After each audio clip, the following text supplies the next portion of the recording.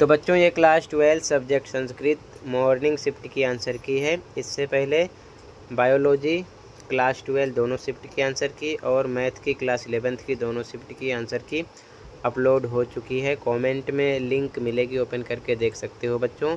तो देख लेना। तो मैच करते चलो अपने आंसर बिना किसी डाउट के। ठीक है बच्चों? सभी पेपर के आंसर के लिए कमेंट को चेक कर लो। सभी पेपर के आंसर अपलोड हैं दोनों शिफ्ट के। कमेंट में लिंक मिलेगी ओपन करके देखकर, अपने स्कोर चेक कर सकते हो तो कमेंट को चेक कर लेना ओके